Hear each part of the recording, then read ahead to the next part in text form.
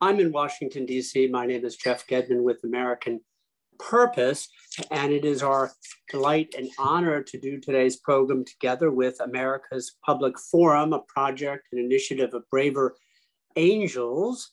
Uh, I'm not going to say much more about this program because I'm going to turn it over to Luke, Luke Nathan Phillips of Braver Angels, to do a tech talk and introduce the program properly.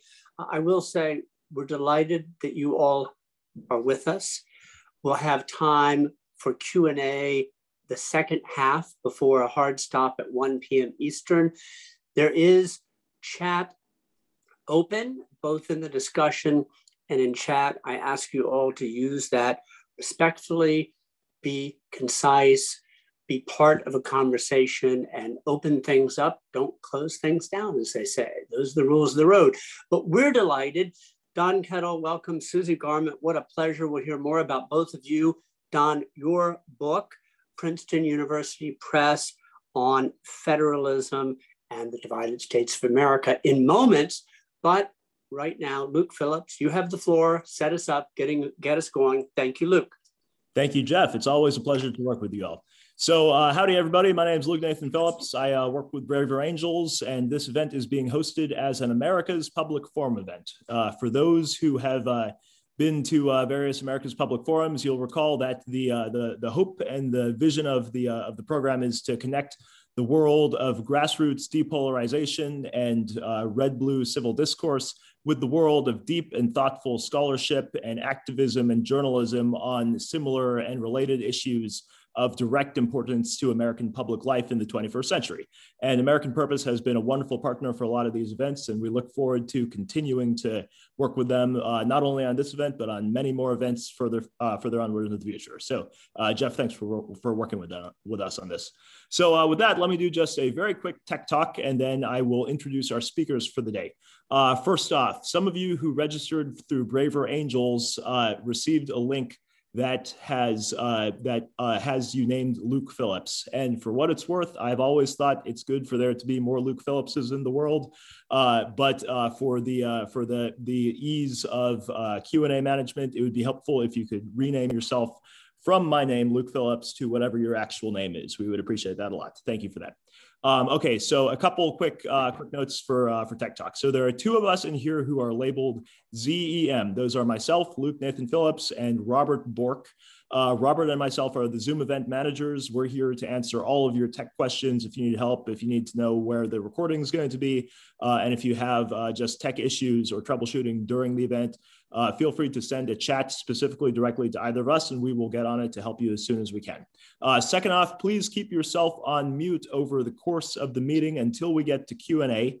Uh, we will love to hear your voices and hear your your uh, your questions and uh, and comments and thoughts as we get closer to the end of this. But we'd like to uh, have that in the second half, and the first part will be our uh, our conversation here. Um, and then uh, for you will note that the the Q and A box is open.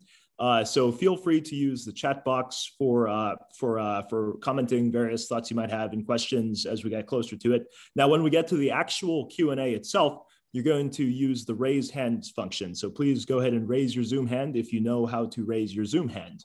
Uh, that would just be a helpful test. Anybody raising their Zoom hands? I see a couple. Great, great, great.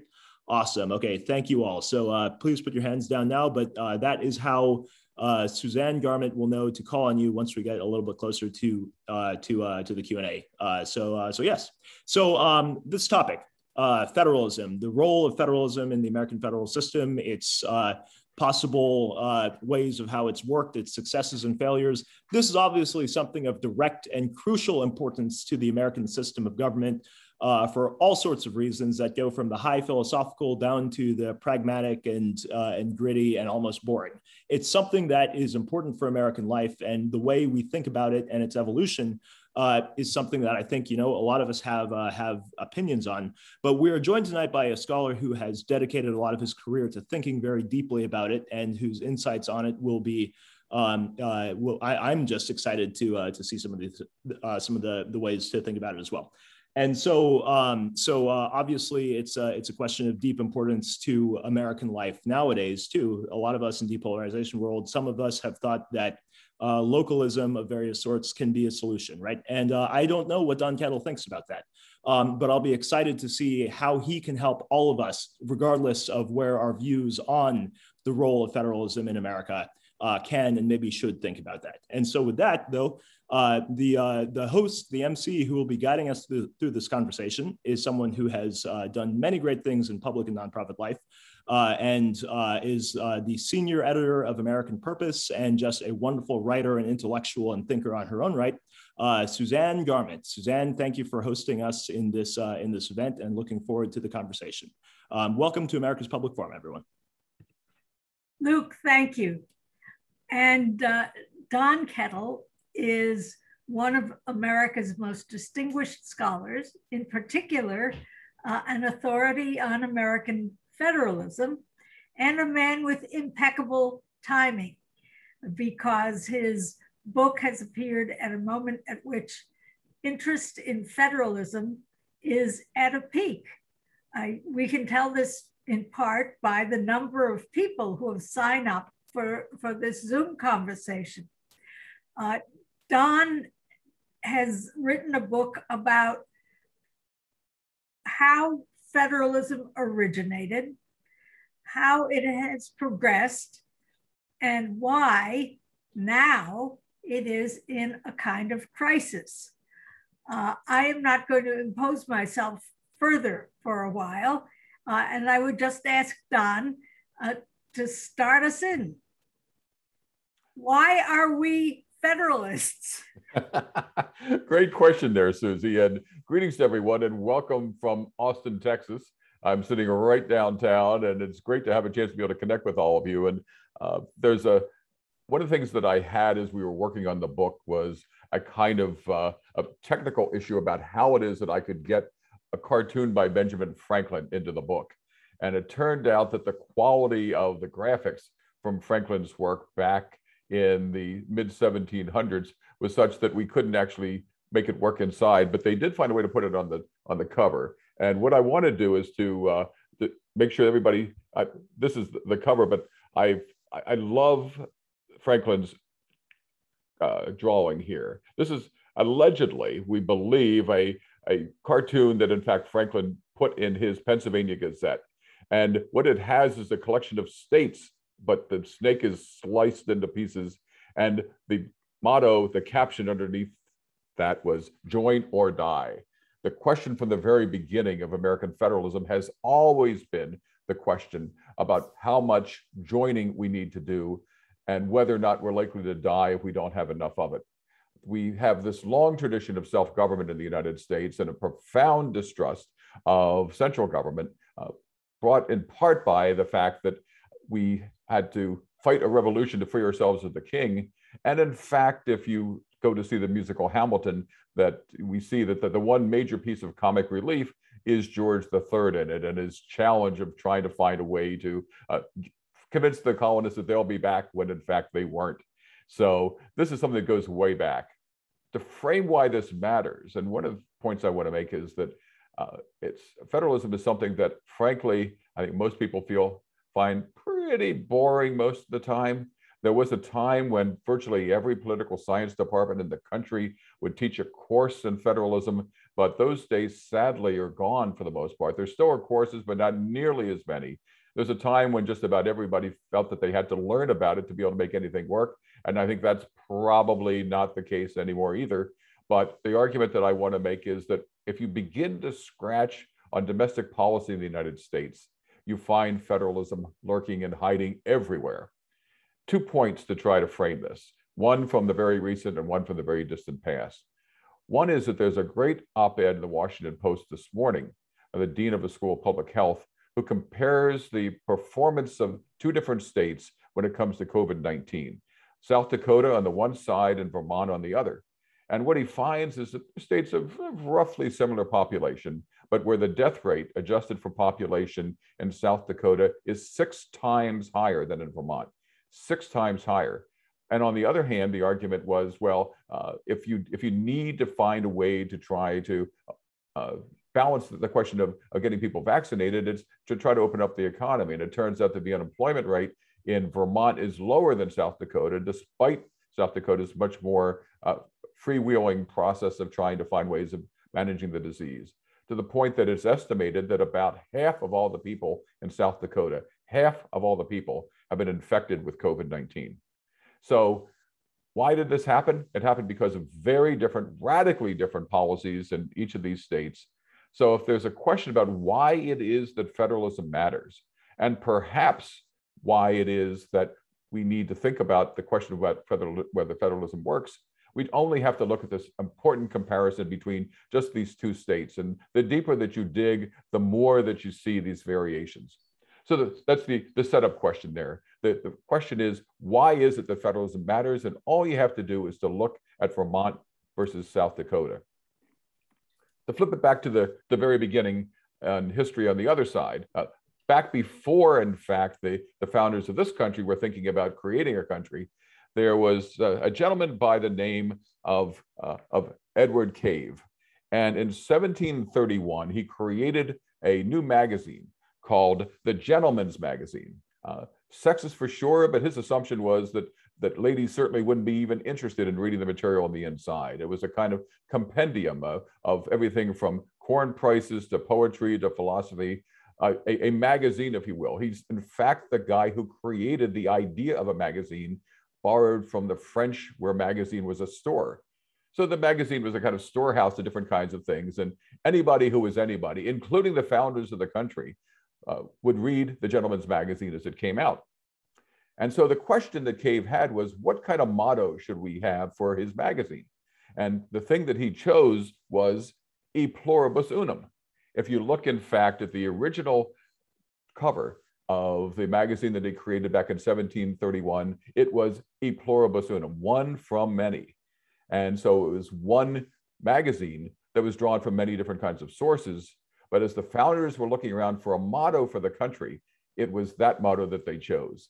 Absolutely fascinating in looking at the historical roots because E pluribus unum was not something that they dreamed up on their own, but a way to try to describe an answer to the problem that they were trying to create.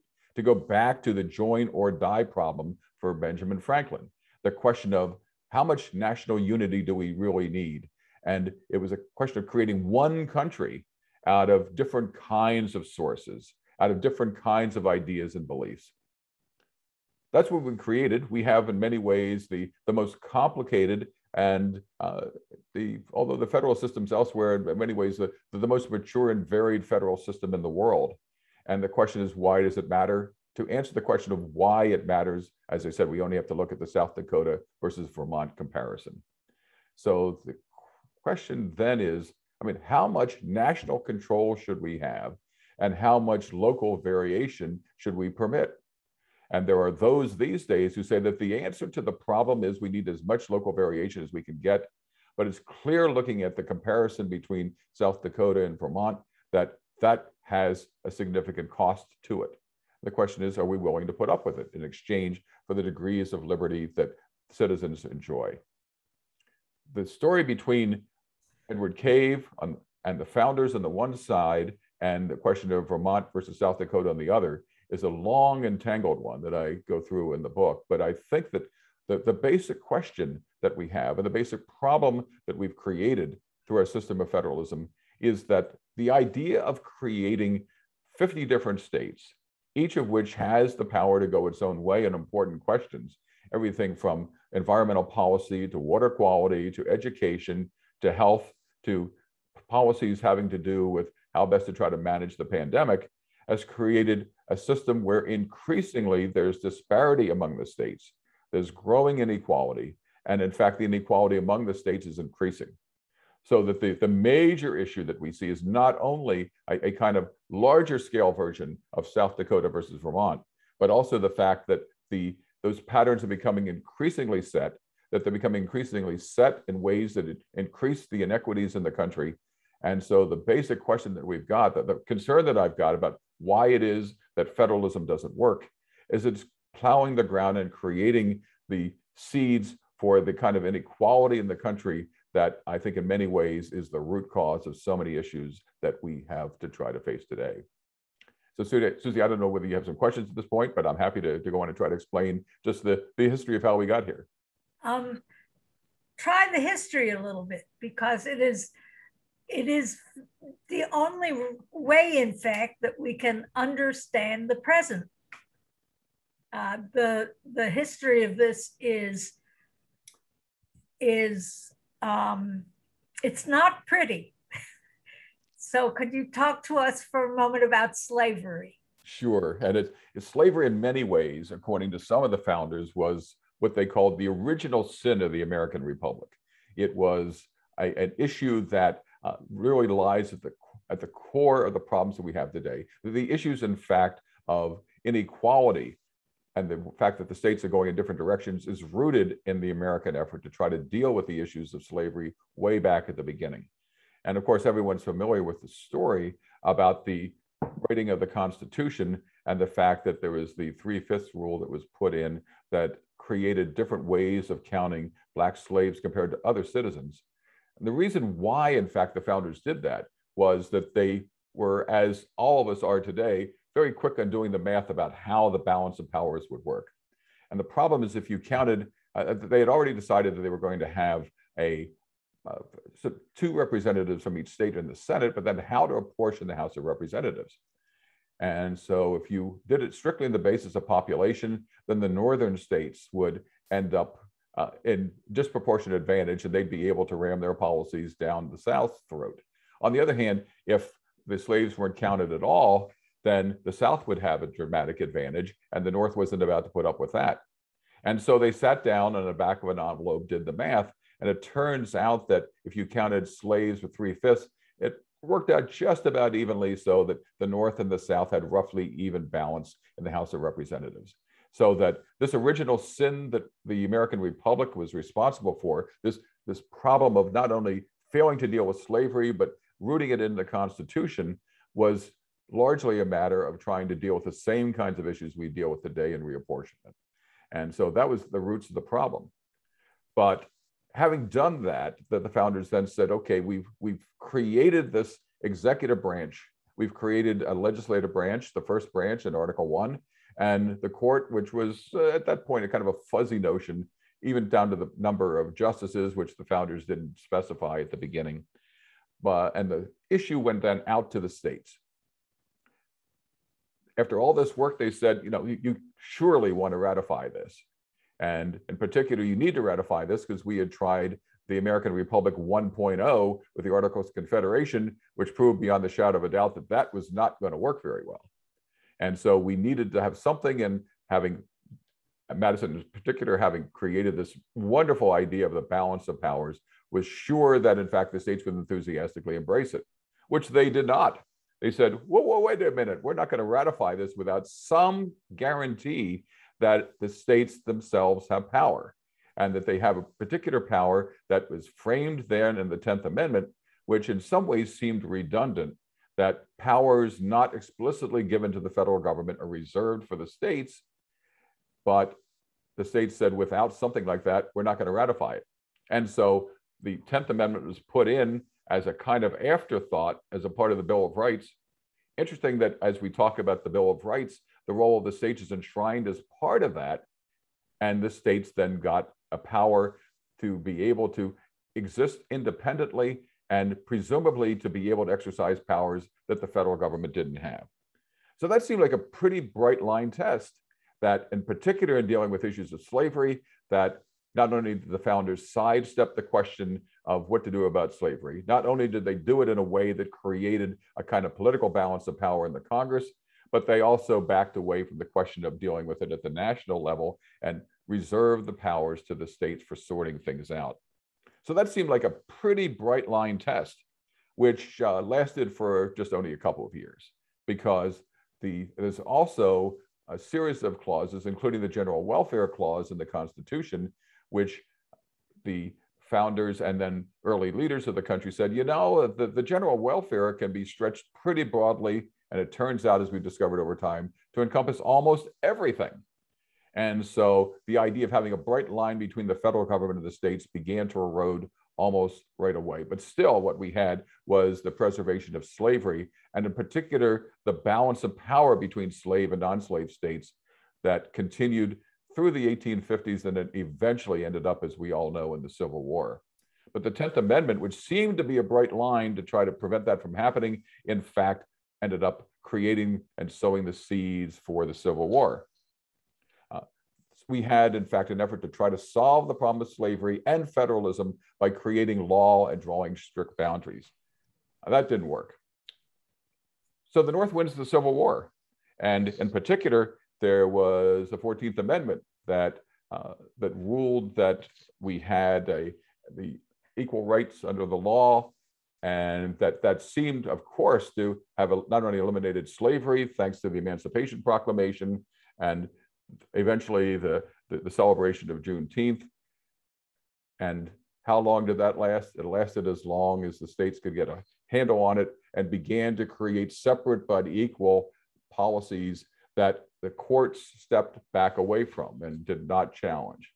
And so we had this system that was based on bargaining and balance that preserved a lot of the conflicts that seemed to have been resolved by law, which didn't because it led to the, led to the Civil War. Then after the Civil War, we had a set of practice that was based on political balance, but in a way that created the second generation of federalism that was focused on the separate but equal doctrine, which really endured, as we know, until we got to the point of Brown versus Board of Education in 1954. That really lasted a really long time. Well, at that point, the Supreme Court stepped in, and the third generation of, of federalism came in because the court ruled in nine to zero, a kind of really monumental achievement for Chief Justice Earl Warren of getting unanimity in the court to argue that separate but equal was unconstitutional. And at this point, the federal government stepped in and first stepped in to try to deal with the issue of civil rights, to nationalize the issue, to rule that the states did not have the power to impose unequal conditions on different citizens, that in fact the era of civil rights was put into effect. This third generation uh, really uh, was set up by Brown versus Board of Education and found its capstone during the, the Johnson administration's New Deal with voting rights, civil rights, and a whole set of other kinds of legislation that was passed.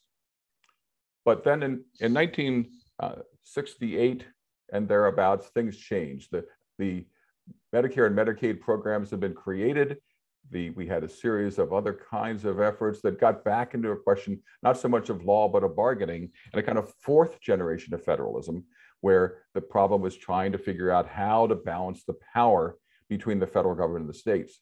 Uh, one of the things that we have to understand in particular is that increasingly healthcare became the flashpoint. Medicaid needs to be understood as a basic problem of federalism, that it became a problem of balancing the broad federal guarantees of basic health care for poor Americans through Medicaid, with the process of also giving states a fair amount of flexibility in determining how to administer it. But in the process of doing that, we stepped away from the idea that citizens ought to be treated equally. Because if you are eligible for Medicaid, we actually have 51 different Medicaid programs in the country with 50 states in the District of Columbia, with administrative systems that, and frankly, nobody really quite understands. I'm convinced that there probably there may be five people in the country that fully understand the way that Medicaid works. But the thing that we need to know is that healthcare is at the bottom, that Medicaid created a system of inequality among the states and how it is that healthcare was administered, that states went off in different directions. And that then set the stage for the debate over the Affordable Care Act. And the Affordable Care Act itself also needs to be understood as a program founded in federalism, not only in terms of the state flexibilities that were given and the ability of states to decide whether or not to opt into special federal uh, federal subsidies, but but also in terms of how to try to deal with the mandate for healthcare, reinforced by the way in which the Supreme Court has operated with tremendous variability in the way in which yes. government is approaching that. Don, how would you describe the balance today? Uh, and I think what we have is uh, if, if, you think of it in, in Hamiltonian versus Madisonian terms, which really is the, the, the basic framework that has been established, uh, what we have is a, is a musical that is still insanely popular based on Hamiltonian ideals and a practice that's based, in fact, on Madisonian ideals. We have a strategy that really is designed to try to give states tremendous flexibility, in part because the federal government just uh, rarely has its act together to decide what it is that it wants the states to do, that it's a lot easier to allow the states to sort this out. But what we have as a reflection of the growing, growing polarization of the country is also uh, battles that are being fought out state by state by state and state capitals. Uh, you, if you're lucky to, to live in a state like Texas, where the Democrats in the legislature have hopped on a plane to get it out of town so that the governor can't push through some of his legislation, you see kind of shenanigans that in California would never be allowed to happen. And so what we have is tremendous variability that is very Madisonian in a way and very Jeffersonian, but in ways that I think really cause tremendous problems. First, in feeding polarization. Second, in feeding inequality. Is there is there anything you see that portends a shift back to a more Hamiltonian model? Uh, not anytime soon, I think, because I think if you the, the, the question of of what happened with the pandemic is, I yes. think, instructive.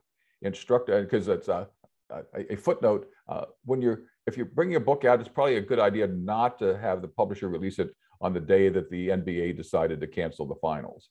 Yeah. So it's a that was it's about a year ago. But if you look at so fast forward to the to today, what we've had is a system that not only allowed the states to to work things out, but also at the federal level, a, a very conscious effort by the last administration to deflect as many important decisions down to the states as they possibly could. Uh, this administration has in, instead taken a somewhat more Hamiltonian approach in terms of deploying the vaccine and was insanely successful up to now, where it became clear that the variability among citizens and among the states is now creating vast inequalities in the numbers of people who are vaccinated state by state and therefore vulnerable to the spread of the vaccine. So that what we have, even in the Biden administration, even with an, with an effort to try to nationalize the process of getting vaccines, we now see enormous variability, which is creating yet another wave of inequality now founded in the odds that you're likely to get sick depending on where you live. The, the problem and the challenge is that we have a country that the government that we get increasingly depends on where we live. And that's something that I think is, uh, is, is an enormous challenge. And the question is just how much variability are we likely to want to tolerate? How much, uh, how much tension and polarization do we, are we likely to tolerate given the fact that the, the states, I think increasingly are responsible for the polarization that's being fed in the country. We, we, tend to look at polarization as something that happens in Congress, which it is for sure, but yeah. so much of that is being fed in the states. Um, you wrote about that in your book, but now it has turned into a matter of life and death. Uh, and, and we will see how much we can tolerate of that kind of disparity uh, and uh, I note that Kristi Noem of South Dakota is doubling down on the South Dakota model of hmm. freedom and personal responsibility. So she doesn't have a problem. Oh, absolutely. She, she does it. And uh, for those of you who are fans of history, this sounds awfully familiar. We've seen this kind of debate about get the federal government's hands off of our programs and well, freedom and responsibility to allow us to go our own way, which was in part what fed the issue of slavery for a long time, and now yes. feeding inequality in a different kind of way. And so uh, we have have that. And so let me let me frame the question though, because uh, if you're if you're going to allow freedom and responsibility, and and Eric Mencken asked in the chat, uh, freedom and personal responsibility is also the Vermont model, but a very different kind of way to try to encourage a fair amount of, of state control and, and state efforts to try to roll the vaccine out compared to South Dakota, which is that uh, we don't need no stinking vaccine because it's something that really interferes with individual right. choice. Yeah. And so the question is, uh, maybe the, maybe the answer is to allow the states to go their own way, and people can vote with their feet, depending on where they want to live and where they want to go. And we see the battle between California and Texas, for example, and everything from economic development to real estate to high tech. And uh, in the best American traditions will allow the markets to sort all that out. That's, that's a pretty risky strategy because it's creating huge inequalities among the states. And, and the, que- the question, to put it in another way, is do we care if they die? And it's not clear what the answer is at this point. Yeah, because uh, we, we've got states where people are saying personal responsibility, we're going to go our own way. And uh, we're just, we'll take our chances. But the, the problem is that it, uh, it, it, puts tremendous strains, for example, on the healthcare system and yeah. on hospital emergency rooms and intensive care units. And so it creates real resource questions. Uh, the other question, too, for what it's worth, is that it'd be different if we uh, were, for example, like New Zealand, where it's thousands of miles in the middle of nowhere from anybody, surrounded by water. And so the experiments can be allowed to play themselves out. Yes. But uh, given the fact that we have air travel, we have cars, uh, the, the, problem is that uh, you can be living in a place that's relatively safe and you can be one stop and a truck stop away from somebody spreading the disease from somewhere else into your state as well. So these things have tremendous spillover implications as well. That's right. Uh, I think there are a lot of questions. Uh, may I open the floor up to people raising their hands? William Hertz, could you yeah, unmute um, yourself? Uh, can you hear me? Yeah. Okay. My question is, thank you. And I read your book uh, a while ago. Very good. Um, I mean, I learned a lot from it. Um, question is, given um, the political environment and the, the fact that federalism seems to be built into the conservative DNA and conservatives get an advantage from this rural urban divide, which advantages conservative, conservatives electorally. What arguments do we muster to convince conservatives to favor a more uh, government, central government approach? I mean, is there an argument that uh, outside of the results that you're talking about politically, what can we say to our conservative friends to convince them that change is needed?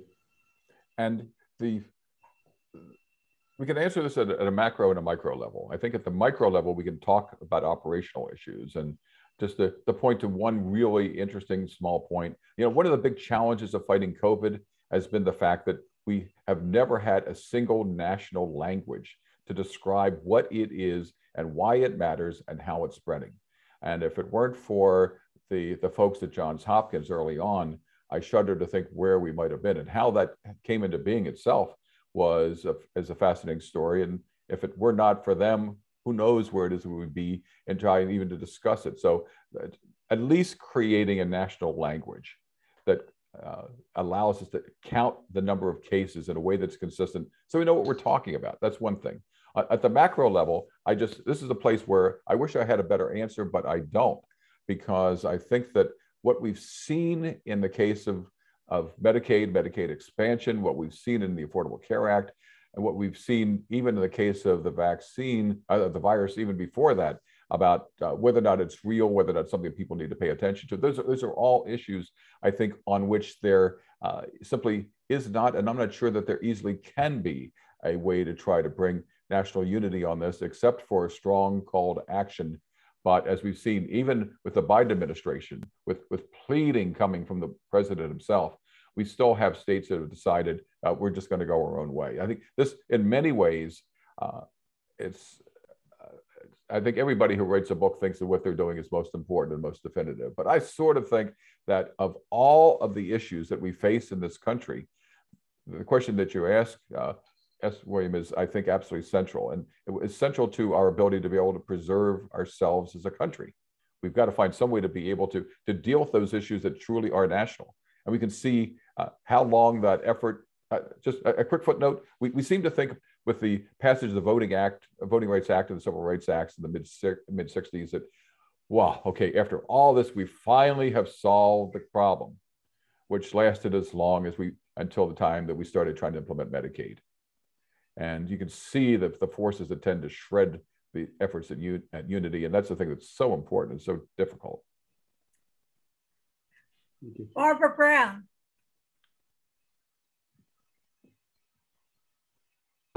Could you unmute?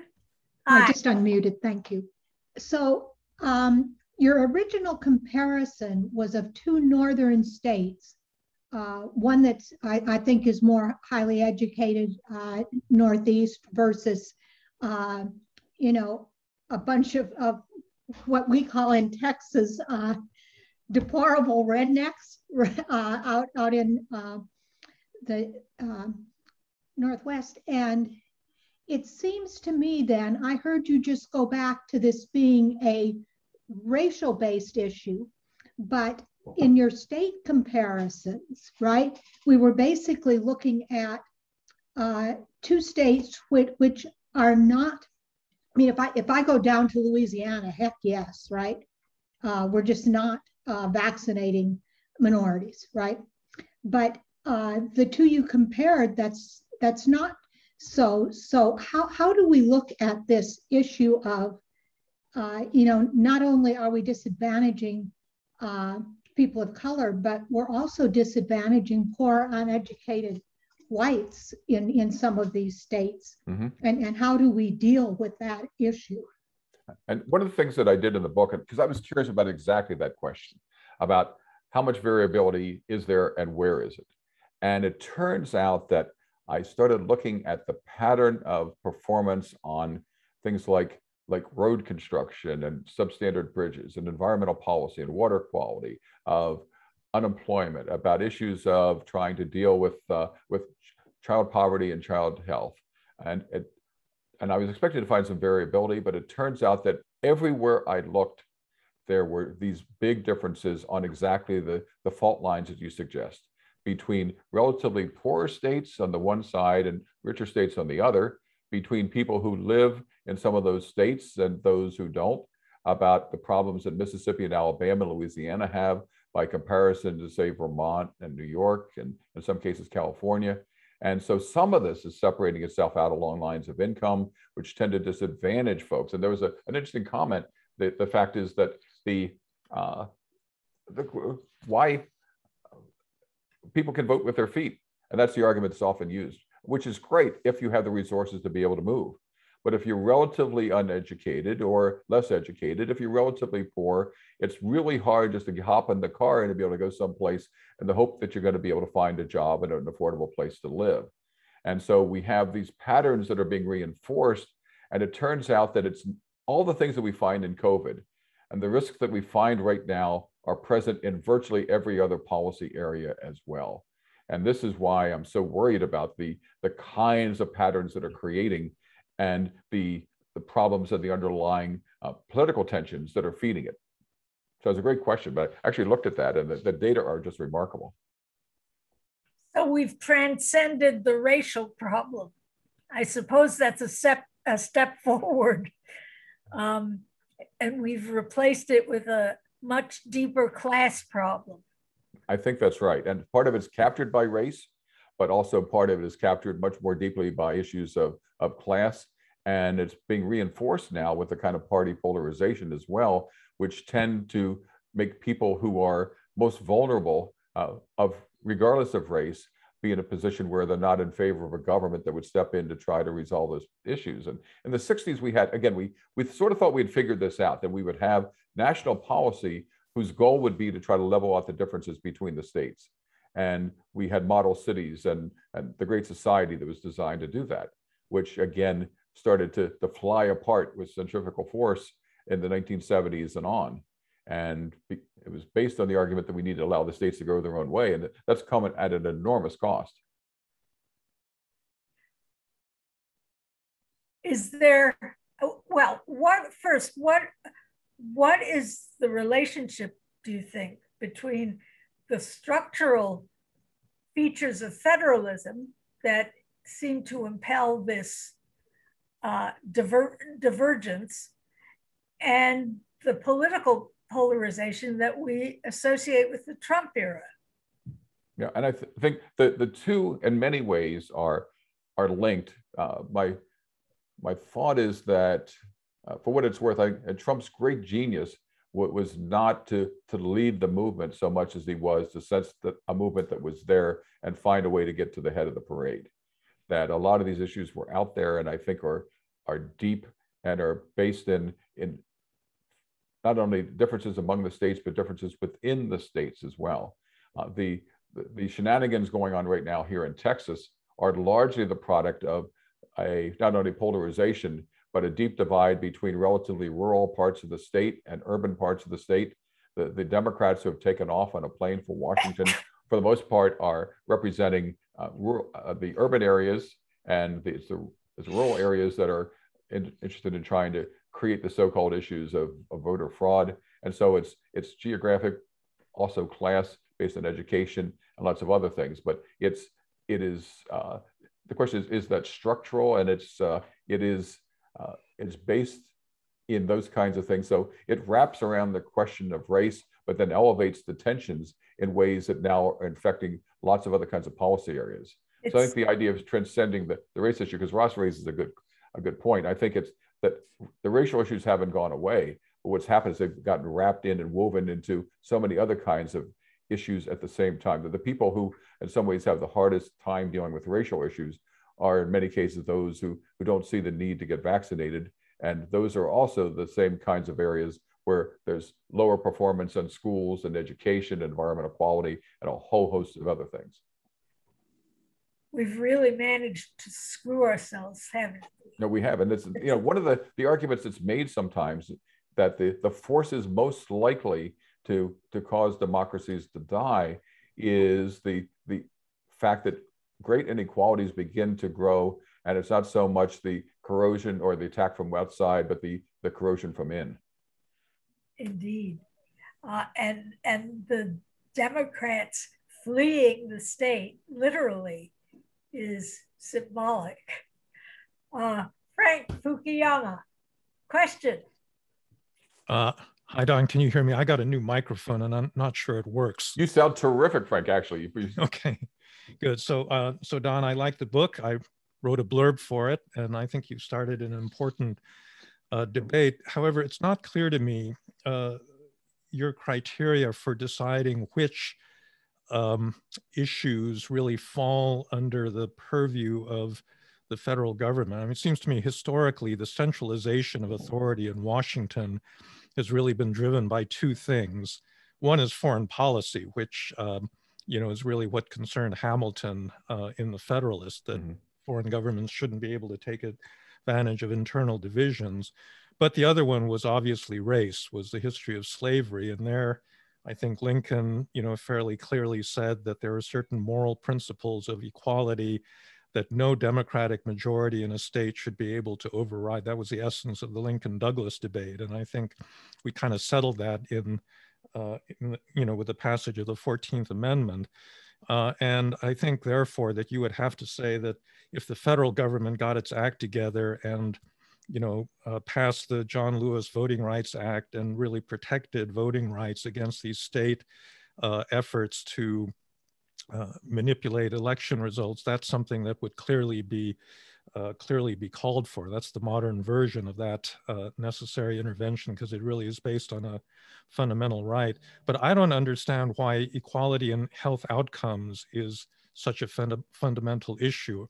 Uh, it kind of gets back to Susie's question about, you know, South Dakota wants to follow these stupid policies and not make people wear masks and therefore more people die. I, am just not sure why that, I mean, that's too bad for the people that die, but, you know, they're, they actually have fundamentally chosen a set of uh, policies that that led to that. And furthermore, it's just not clear to me if you look back over the pandemic whether we would have done better if the federal government had been able to set you know national rules uh, regarding all these issues. Uh, the first problem is, you know, when the federal government is being run by a bunch of idiots, it means you're going to impose really dumb policies on states.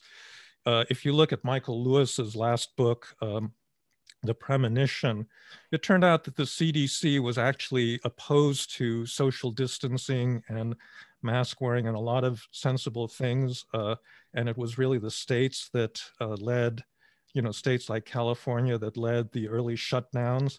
Uh, so, you know, when you impose a uniform set of policies on a big, diverse country like the United States, you're maybe lifting up some of the states at the bottom, but you're also putting a cap on, you know, what more innovative and progressive states can do. And, you know, and so it's just not clear to me that we would have been better off if we had been more like the European Union and tried to centralize everything, you know, from Brussels the way uh, uh, they did in their response to the pandemic.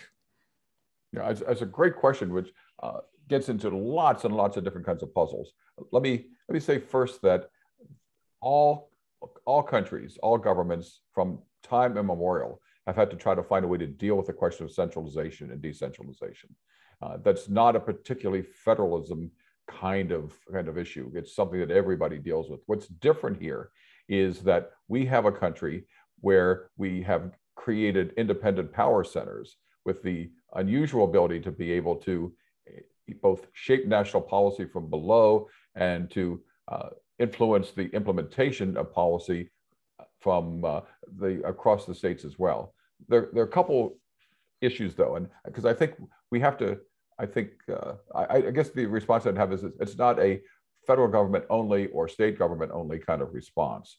But let me, I think, and again, the, the, fact that we were able to learn by the experiences, especially from states like Washington, that uh, was the, the early center of things and which then was in the if there have been some analyses that have suggested that if all the states had followed what it is that Washington learned, that we would have had hundreds of thousands of fewer deaths because of the strategies that we, we would have used. So uh, the, these, these questions of centralization and decentralization are eternal, but they're different in the United States because it's independent power centers. Uh, uh, on the other hand, I don't think this necessarily argues that everything has to be run from Washington or from the CDC in Atlanta.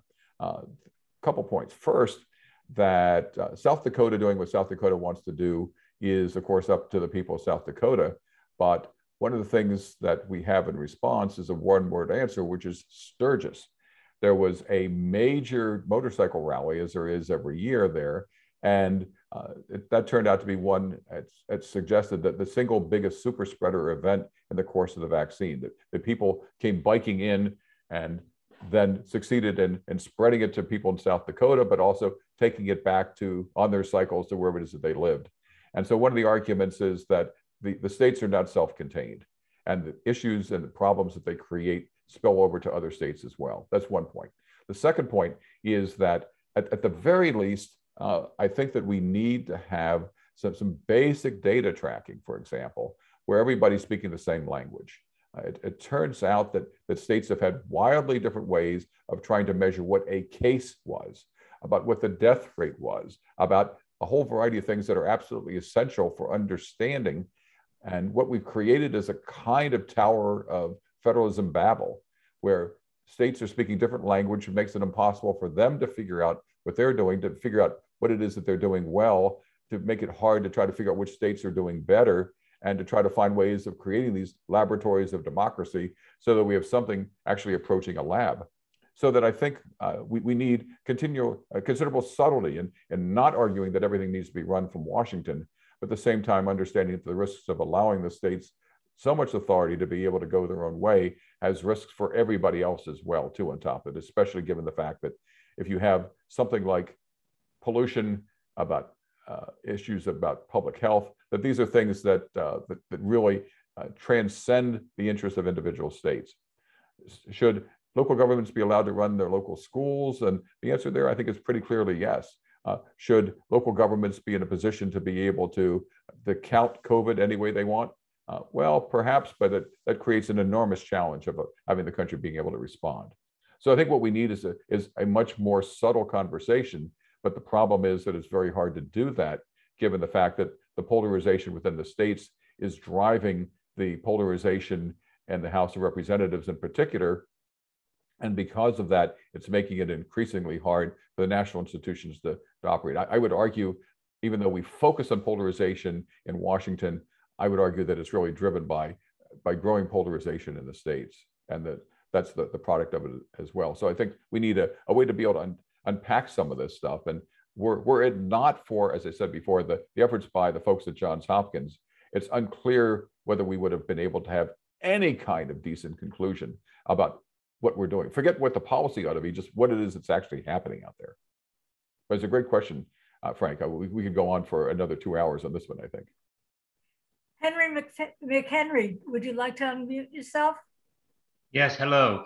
Uh, in Charlottesville, we think we've transcended the issue of race and maybe therefore the issue of polarization by removing Confederate statues from public view. You've, you've um, done that, yes. Race conflict, race conflict is only a subset of tribal animosity and suspicion. Um, is there a government structure that? Uh, I mean, this, this really flows from government structure. And one of the things I I actually was on the faculty at the University of Virginia for 10 years. And so I had to not only know those statues well, but also uh, the, the trip to Monticello was a pilgrimage we made with every visitor who came. And so know all that stuff well. And one of the things I was always struck by was that, that Jefferson himself was surprisingly Hamiltonian as a president, that the, the idea of allowing state governments to just go their own way and dictate policies and the national government have this narrow piece of policy realm would in fact have made it impossible to, for the federal government and for Jefferson to do the Louisiana Purchase, which is one of the, the, most Hamiltonian acts of the American Republic. But at the same time, the idea of trying to figure out how to deal with the underlying issues of race was something that, that continued underneath the surface. And so we, we have this problem of America's original sin and the challenge of figuring out how to deal with it.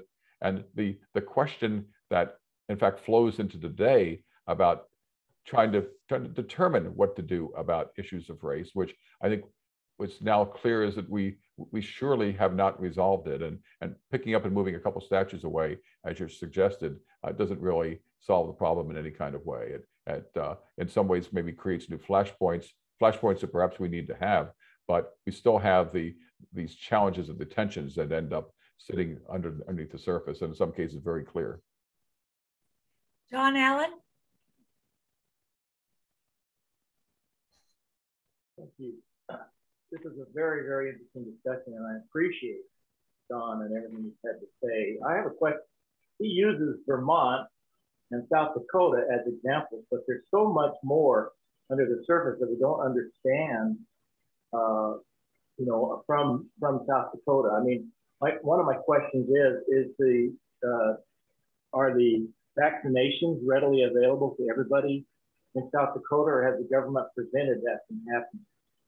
And and and the next part of that is, do we really know uh, if people that have COVID, if they're really, uh, I, I, think part of the problem is, and I agree with him, we have, don't have a national uh, definition of what we're talking about. Everybody defines it differently. But, you know, the, the science is telling me, from my definition, that people that have been exposed to COVID aren't in, aren't in danger of getting any of the new variants. They have natural immunity? Do we know what's going on? Do we really understand that? Those are my questions. And, and the answer is, I think no, that we really don't have it. In part because we haven't succeeded in creating the kind of basic metrics to be able to deal with this. And, and we, we have to, we're, we're doing science in real time. And it's, uh, it, it took us a long time to figure out whether the earth or the sun was the center of our local universe and it took a lot of debates over a long time. We're doing uh, fundamental science in real time, and the question of trying to figure out what vaccines to use and what their effect is, and how much immunity that exposure to the virus can actually convey. Those are all things we're trying to sort out, and now we're trying to figure out whether or not we even need to get uh, to get jump started with a kind of booster vaccine. And uh, with the suspicion in the background that Pfizer is trying to push this because they see dollar signs in their eyes as well.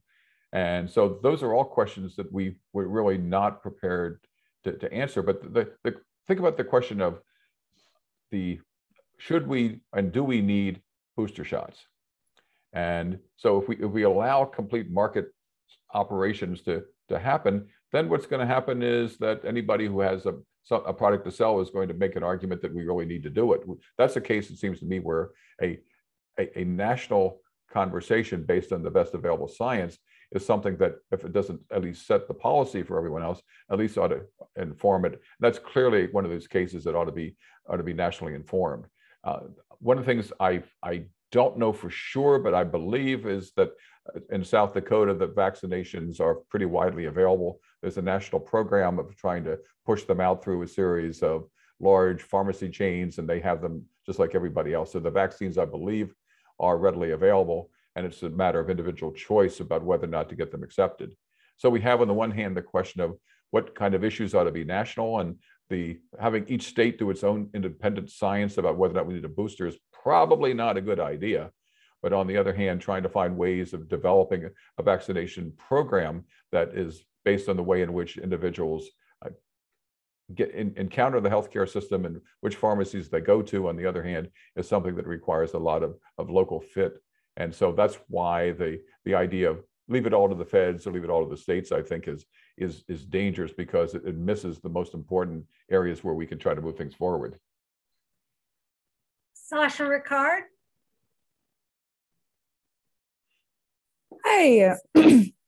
um, I'm interested, this is changing the subject a little bit from the, the COVID conversation, but um, you, you made the claim a couple times that you think polarization is much more of a state, like state issue, state by state, mm-hmm. rather than internally or sort of a, a more local um, problem. And I was hoping you could elaborate on that a little bit because that's mean, maybe you cover it in the book, but that's not something that I've heard argued before. And, and when I think about states like Washington or Oregon, where you have sort of these really dramatic internal divisions, it seems like it's harder to maintain that it's a state by state polarization versus, you know, even internally and yeah. even within individual cities where you see folks who have different political beliefs really yeah. not even ever interacting. And so I'm, I'm curious how you draw that conclusion, if you could elaborate. Yeah, I guess I'm from the Tip O'Neill School of Political Science, which is that all politics are local, and that the issues at the at the federal level are the product of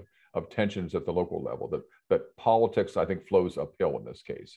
That the uh, the, reason why, for example, that the Republicans have ran have run so far away from January 6th in Washington is that they're not they're mostly concerned about primary challenges and the primary challenges would be rooted in what happens in, in the local communities and whether or not they can maintain their base of support to fight those primary challengers off. So I think there's that piece. There is, as I said, the, the, the special case here in Texas right now with, with Democrats representing urban centers against Republicans representing more rural areas. And so we see those kind of tensions. And the and then every and then we have a governor trying to to, to out Florida, Florida, and Florida trying to out Texas, Texas. And so those we have those kind of competitions going on as well. So the argument that I would make is that we have a case where polarization flows uphill from the states based in all these grassroots kinds of issues, based in, in primaries, based in primary challenges, based in redistricting, which of course is a is a state legislative battle. That what what legislative district that you represent is the product of the ability of people uh, for your party to be able to draw the district in a way that most benefits you. Uh, I live in an incredibly squirrely district that has a little tiny slice of Austin that with a boundary that runs all the way down to San Antonio, which is 90 miles away.